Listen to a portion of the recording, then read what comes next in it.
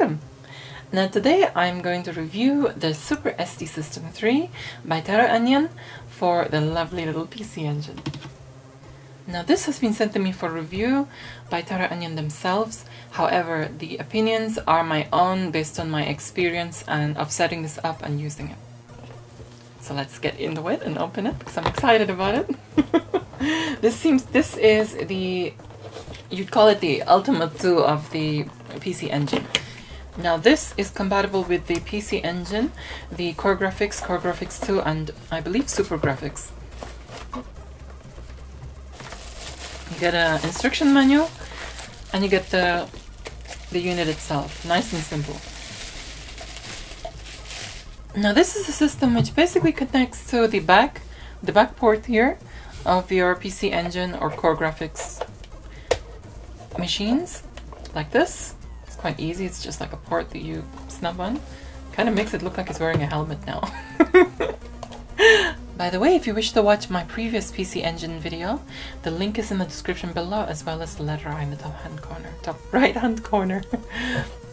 now this is the quick user guide and instruction manual. It is quite simple to follow to be honest. Uh, the unit is simple itself in nature. It tells you exactly what files you need. The PCE files, the standard HuCard files, and for the CD it will be .q.bin. After the last video, I did get asked a few times, you know, why I removed the RGB mod and if it was absolutely necessary to remove the RGB mod. I mean, it's not necessary, but come on, it's like a rainbow cable hanging out. I don't want a freaking Nyan engine. Now RGB output is not the only option you have. You actually have the option of composite output if you need that. And um, you know, it all depends on which cable you get. Not only that, you have a micro SD card slot here which you can put your files into. Now one thing I must mention about this is that I'm very impressed with the quality of this. I'm very picky about plastics. And uh, you know I'm it just a lot of them can seem cheap and brittle to me. This definitely no. The plastic is not the brittle type. It's actually a very good quality plastic. And uh, yeah I'm just I'm happy with how it looks. And I mean when you connect it to this to the actual PC engine yeah sure it does you know add a significant size to it I have to say however if you consider the size of the original CD unit that you used to get with this you know, it is actually pretty good. I mean, considering that it does everything.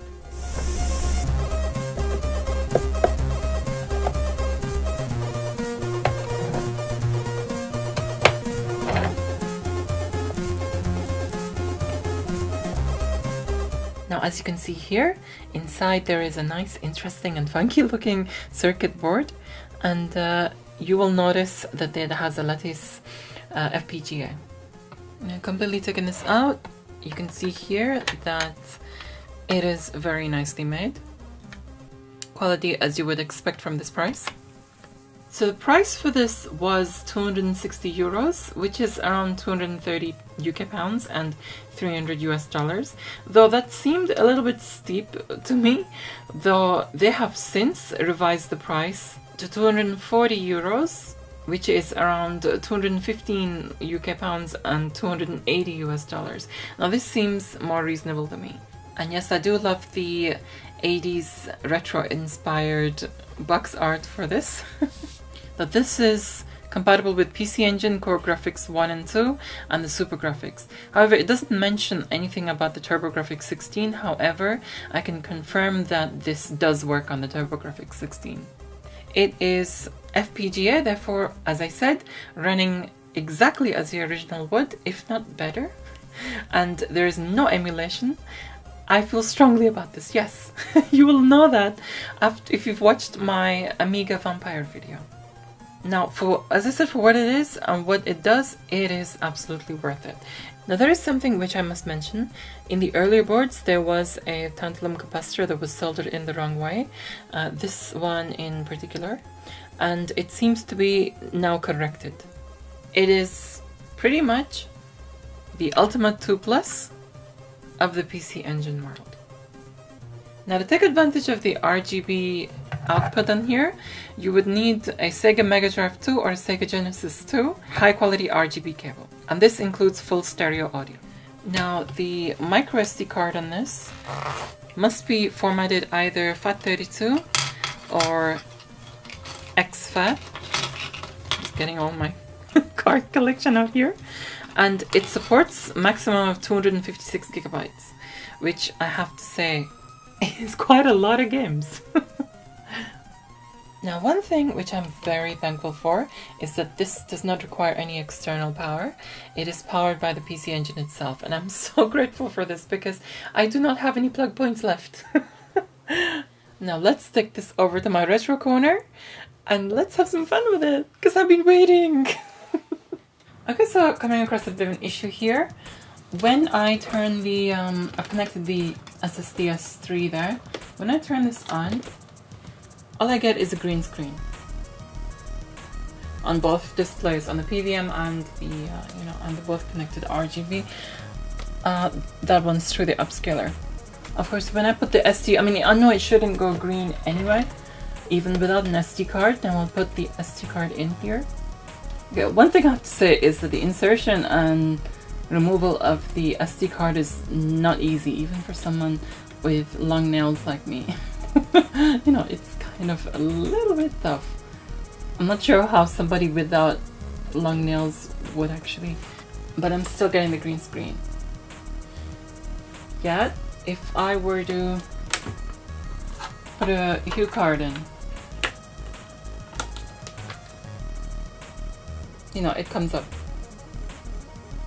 Okay, I just spoke to Todd from Todd's Nerd Cave about this. Uh, he is a member of Terraonion and he pointed me to a thread where somebody else was having the same issue.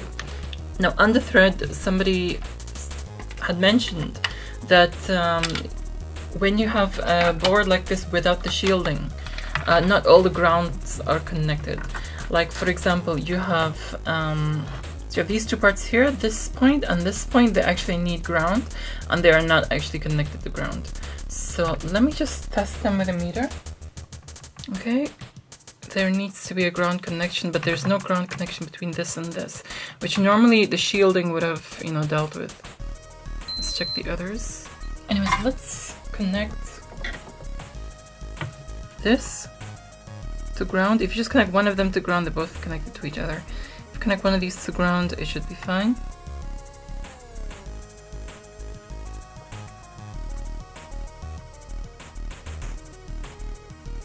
Now if you're at the point where you do have shielding and it still does this green screen thing, uh, do check the pins at the back to see if any of them are, you know, bent or anything like this.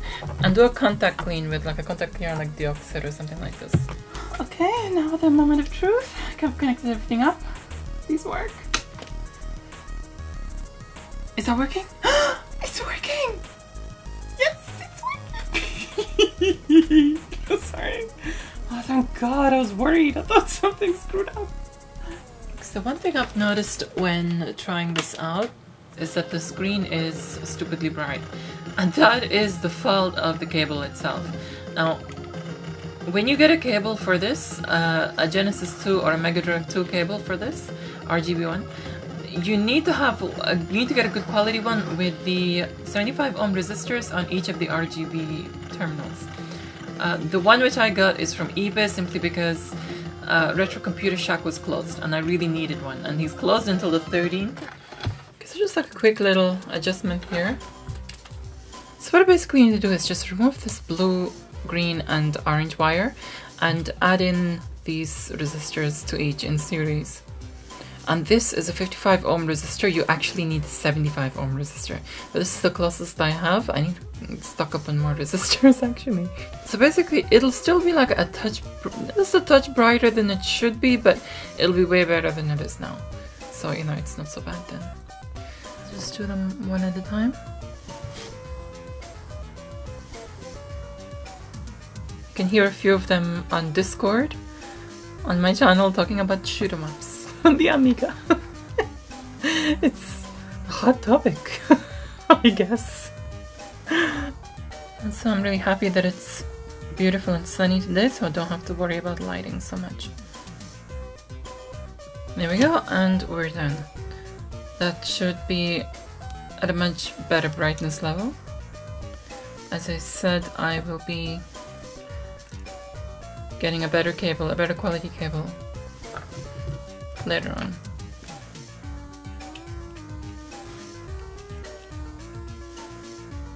Okay, that should be done now. Just need to close this up, test it out, and hopefully it should work. Okay, so the first thing you will need to do on your computer is format a micro SD card as FAT32 or exFAT. I have chosen exFAT. And this I find is the best way to arrange your files on the SD card. You have a folder for BIOS files, which are actually the CD-ROM system cards. More about those later. You have the CD-ROM folder with all your games in. Note each game has its own folder with a .bin and a .q file in.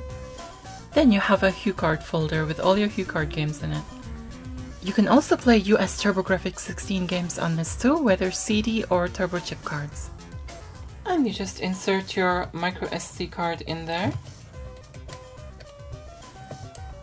Turn your PC engine on and you're set. However, I must say this that the manual states to never remove or insert the SD card while the system is on. So we are now in my retro corner or my retro alcove that it's becoming now and we are going to test the Super SD System 3. Right, so when you first turn your PC engine on you will notice screen here. Now this is the menu screen and uh, basically that's all your all that's on your SD card or my SD card. Uh, let's go to the options and sort that out. Now you will notice that this first option here, boot the last game, is selected. I don't know why it's selected. I would highly recommend deselecting that um, because what that does basically is when you load a HuCard and you then you know play the game and so forth and then you turn off your system and then on again it will load that same HuCard up you know treating it as if it's permanently in there so yeah you will not be able to get back to this menu system unless you take your SD card out, put it in your computer, and then delete the file on the root, which is lastpce.config. And you know, then you plug it, you uh, insert your SD card here again, and then this menu will come up. So I'm not sure why this is by default on. I would highly recommend switching it off. Uh, you have the other options here uh, CD block volume, select CD CD-ROM system card. In the original PC Engine CD-ROM setup, what you needed was um, system cards. Like uh, they came in three main versions, like version 1, 2, and 3, but with like 1.1 or 2.1 in between. Um, I would highly recommend version 3 because uh, that will run most games. Why is it a version 2? Why? I need to set it to version 3. See, this is the thing. I wish this text was a little smaller. I'm assuming that's version 3, so I have selected. Now at the top, you can see HuCards and CD-ROMs. Now if you select, press select, can select between them. Now, of course, if you want to use, if you want to load HuCard games, you go to the HuCards tab, and then you go into the HuCards folder here. And the basic, you know, up and down is just selecting, you know, scrolling up and down. However, if you notice, if you have a huge collection of HuCards, it's, you're gonna struggle getting the freaking, you know, P or Y or something like this. So what you do is left and right um, scrolls up and down the page. So, you know, it's a little quicker to get you know. One thing I have to say is the font and the look isn't you know, it's not the easiest and most comfortable for me. First of all, I wish that this had a bit more colors. Like, I wish the folders were different colors. Uh, it just all seems to be, and especially the, the selection. You can see the selection going up and down. I wish that was like highlighted red or some, some color that's different. It doesn't seem to be very much of a color scheme. Actually, I wish there was more of an option uh, for skins, different skins or different themes. Uh, because I do struggle reading and seeing this. Um, me personally, I have dyslexia and something called uh, syndrome, which is like a photosensitivity. Now, this isn't so bad, even though it's not entirely comfortable, but when I, you know, when I'm looking at websites and I come across a website that is full white bright text and um, black background, the blackest you can get, I actually cannot see white text on black background. It's just my, I cannot see it. Uh, and if I do try, it strains, it severely strains my eyes. Uh, this isn't so bad because this is not fully white. It's kind of like a creamish kind of color, um, off-white color. So it's still stressful, but it's not so bad. I can actually see it. And you just, you know, select it and press start. It loads the HuCard. Why is Bonk or PC PC Kid very red in this? Now the reason why I've loaded this is because there was some artifact thing happening in the background due to some RGB. You could see diagonal lines. Now if I look closely I can see subtle diagonal lines that appear every now and then but it's not so bad.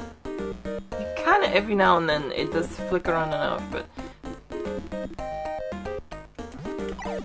they're not that permanent. It's actually fine. It's a really nice version. Why is uh, is it me, or does everything seem a bit too red? The the red seems a bit strong. Maybe it's the game. Because look at that plant. Red is very saturated.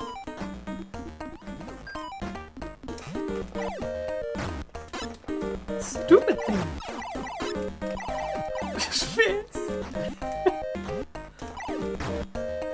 it's a purple one. Hi. Heidi!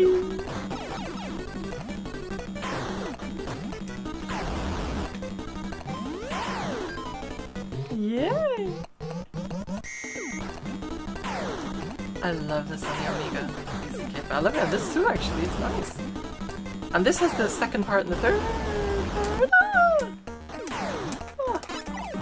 Stupid freaking. One thing which I'm noticing is that it is a bit red.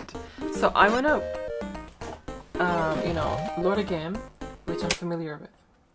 That's one another thing which I really wish the SSDS3 had is a reset reset button.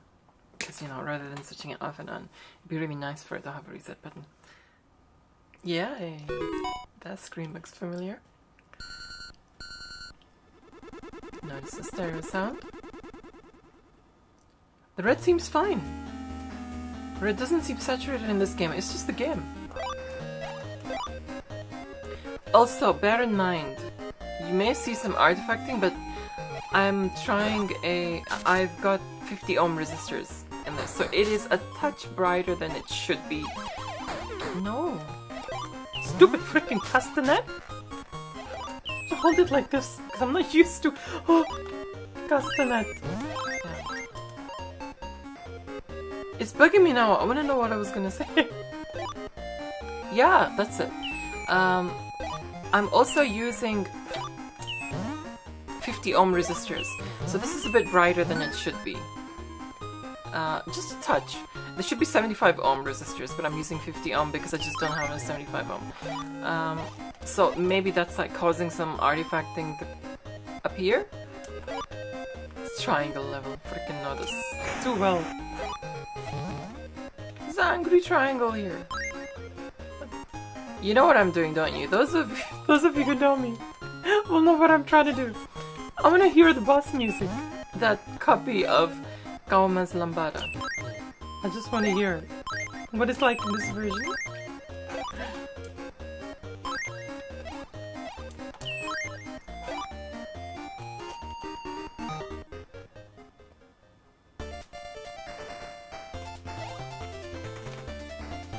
It's cool.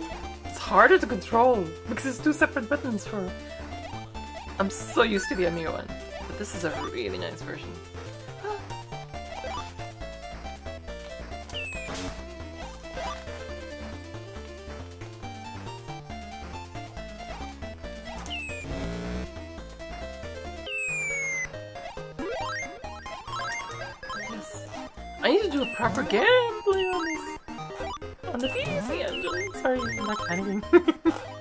By the way, if you wish to see my gameplay of this on the Amiga, uh, the link is in the description below as well as in the letter I in the top corner. And this is where I get the miracle thing. These freaking... Ah! No! These stupid freaking Kermits! These pseudo Kermits. Stupid freaking pseudo My Little Pony. Here's the televisions. Ah! Sorry. I thought I was gonna die. Miracle! I got three televisions. Ooh, big cake things. Ah, ah, more. That's it. Because it disappears so quick. Yes, oh darn it. That is so satisfying. no! Normally in the Amiga version, they, they become freaking drunk when you just like walk into them if you've got something. Ah, little jelly dot. Move away. Ah, angry jelly dot. angry pseudo my little pony.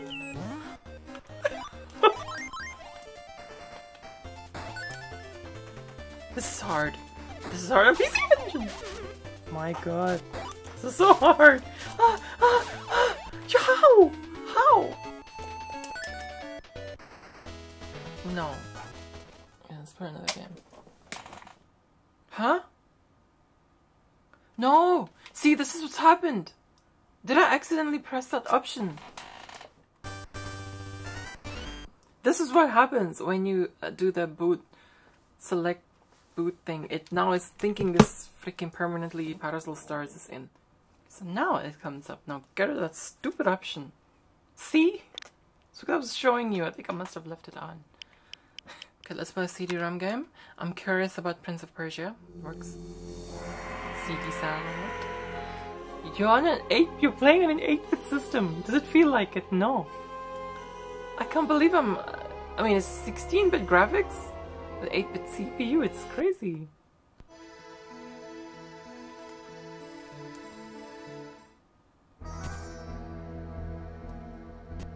This is a nice version.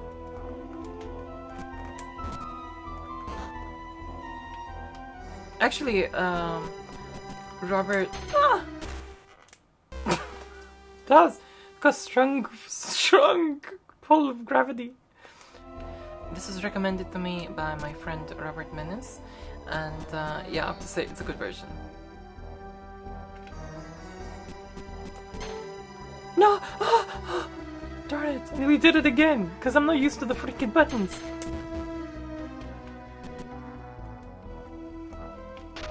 Think about which button to press!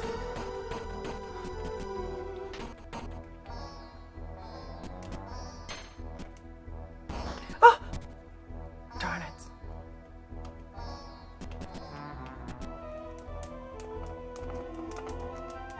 Freaking get the sword! You freak! Get the darn sword! How'd you do it?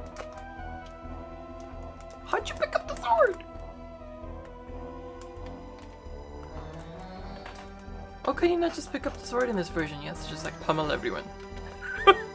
How'd you pick up the darn sword? No!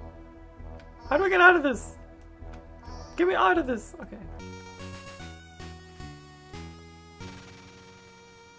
You just pressed the freaking button without squatting down. I made the prince look like an idiot, just like squatting constantly. Just press the wrong button.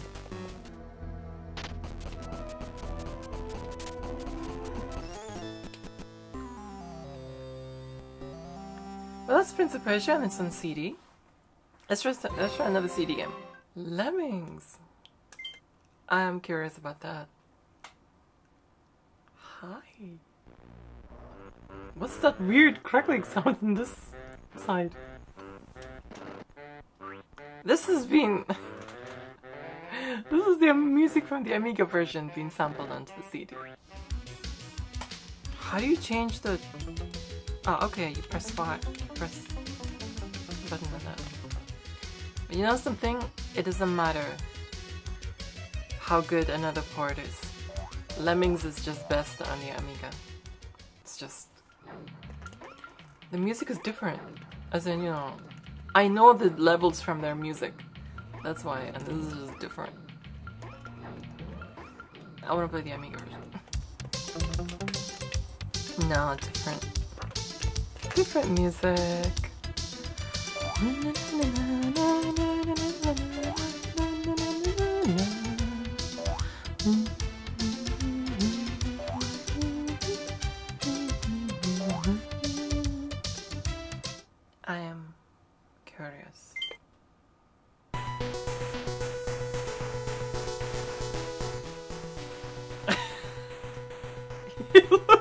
Drunken.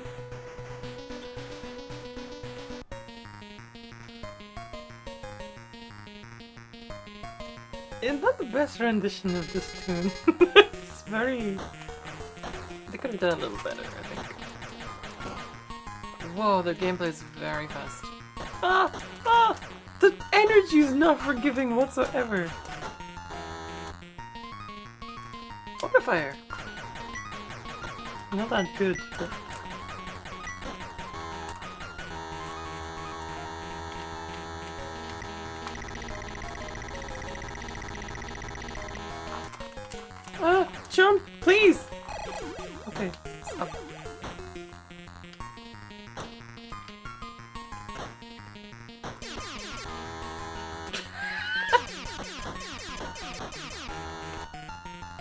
Dude, chill! Oh, wow! Okay, that's better.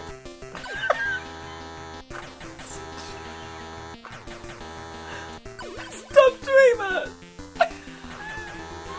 Everything is just like fast speed. It's like chipmunk ladders. I'm trying to do fire and that stupid brrr thing keeps coming. I'm not impressed with PC Edge. Ah. Did it just get faster? Whoa! Dude, chill. The energy goes down so quick. What the freak? Look at the energy. Ah. This so unforgiving. Freaking idiots.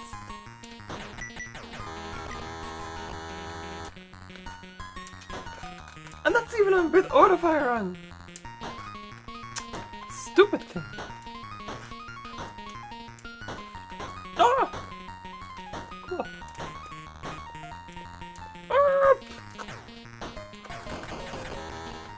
Okay, let's play another game. this is just too chipmunky for me.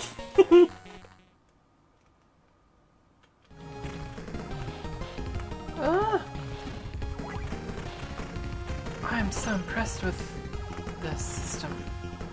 Sorry, oh, but I am. Come on, this is 8-bit? You're kidding me? Ooh, nice. Got some nice power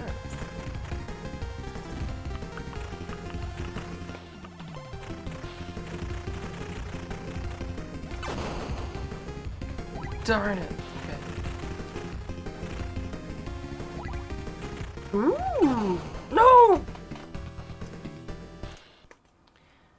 Let's try one more game, and that is just for the music.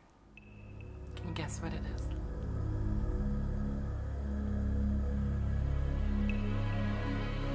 This is 8-bit dudes!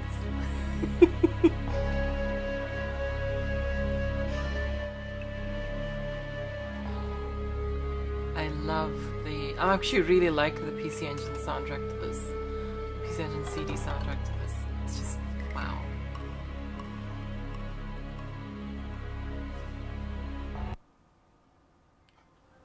I'm not good at this game. Uh, I'm, so hard. Okay, this feels a little easier in the Amiga version.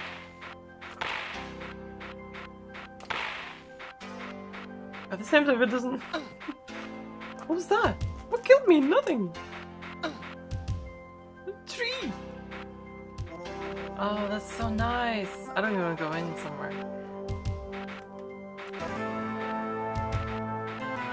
Sorry, I'm listening to the music. It feels like 80s uh, synthesizer CDs. Yeah, it does. 80s synthesizer CDs. Oh my god, this is so nice. I'm just gonna make a CD of this. Or a compilation, just record this, I love this. Okay, dude hunting bike is freaking. My tune, my hero.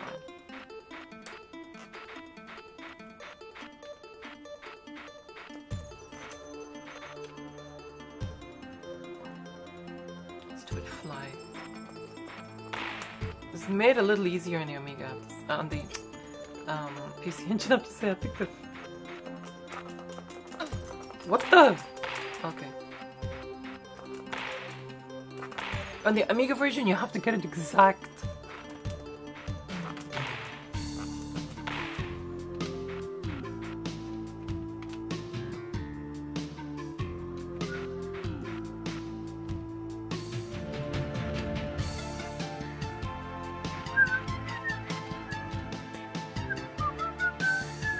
This is my favorite Shadow of the Beast.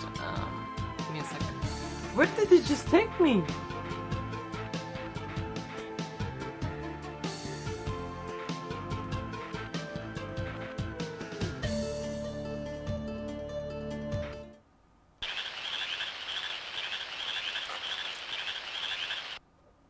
I'm so bad at this game. Amiga port's terrible. But you know something? I only ever play Outrun for a musical sound shower. This music here. It's just... This music is the reason why I ever load Outrun on any platform.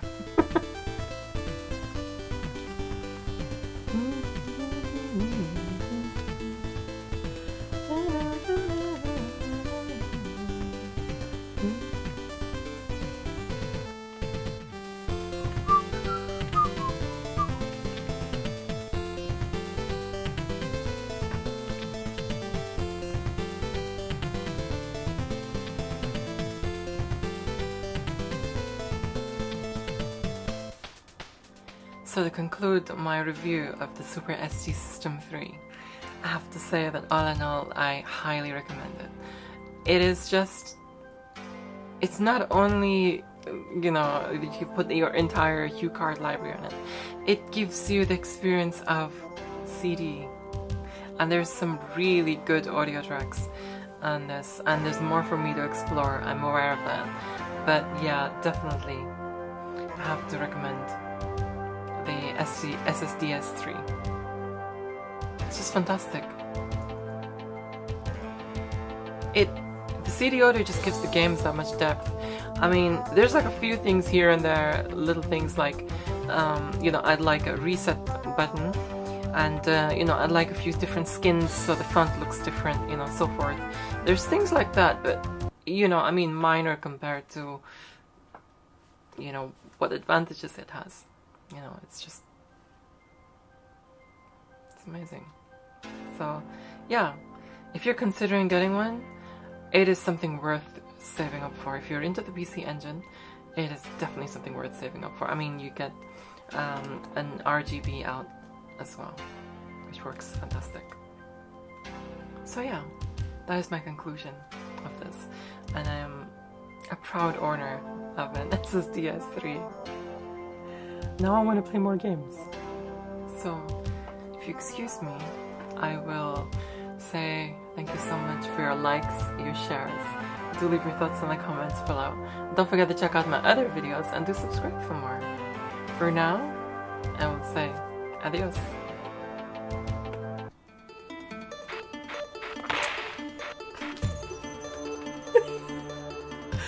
For the generous donations, I would like to say a big thank you to my patrons.